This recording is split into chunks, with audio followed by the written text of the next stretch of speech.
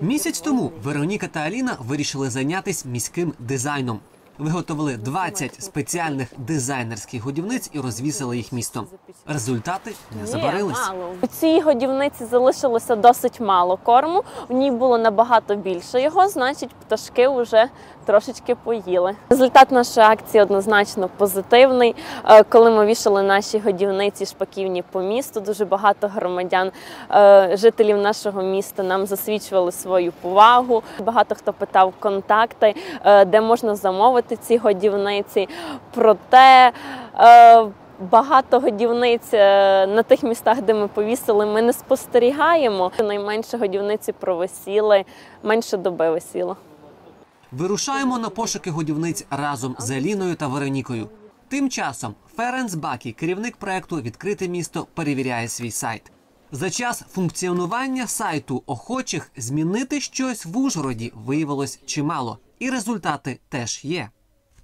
Приблизно було 50 звернень. Ну, багато ще з них розглядається, декілька вже вирішили. Е, Можу продемонструвати.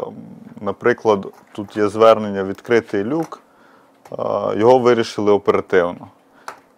Його було подано зараз секундочку, 5 січня. І вирішено було так. Е, 15-го.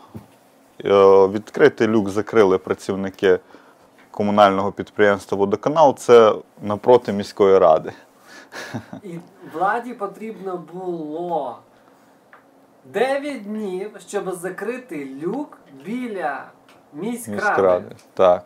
Ну, в цьому випадку вони зреагували дуже оперативно. Це 9 днів це по-вашому оперативно?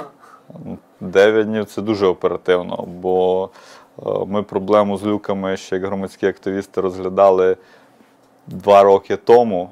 І декотрі люки, по яким були подані заяви в ДАІ і в міську раду, до сих пір, на жаль, не закриті.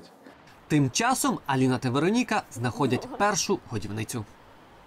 Так, висять, і ми бачимо, що корму стає все менше. Значить, вони були в нагоді.